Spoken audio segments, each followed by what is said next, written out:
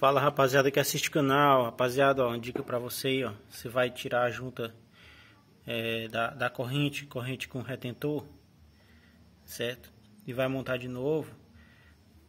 Essa corrente você sabe que é lubrificada por dentro, né? Tem os retentores e tem que ter graxa dentro, para não desgastar. Aí você tira a junta e vai colocar a chave de novo. Eu aconselho você a colocar é, a graxa branca. Você passa aqui, ó Coloca aqui na, na chave, graxa branca.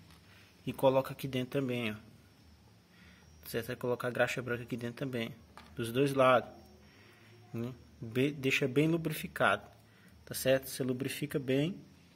Depois você monta direitinho que você não vai ter problema. Agora se você colocar seco aí, você vai ter problema. Vai ter o desgaste aqui só na chave.